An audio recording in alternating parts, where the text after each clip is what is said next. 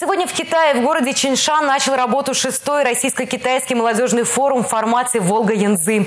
В масштабном мероприятии принимают участие более 130 представителей студенческой молодежи из высших учебных заведений Приволжского федерального округа.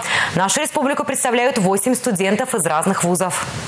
На протяжении 10 дней российские студенты будут знакомиться с работой местных университетов, высокотехнологичных предприятий, прослушают лекции ведущих китайских ученых, узнают историю и особенности национальной культуры. В рамках форума пройдут круглые столы, творческие встречи, концерты, спортивные соревнования. Кроме этого, состоятся тематические площадки «День России» и «День Китая».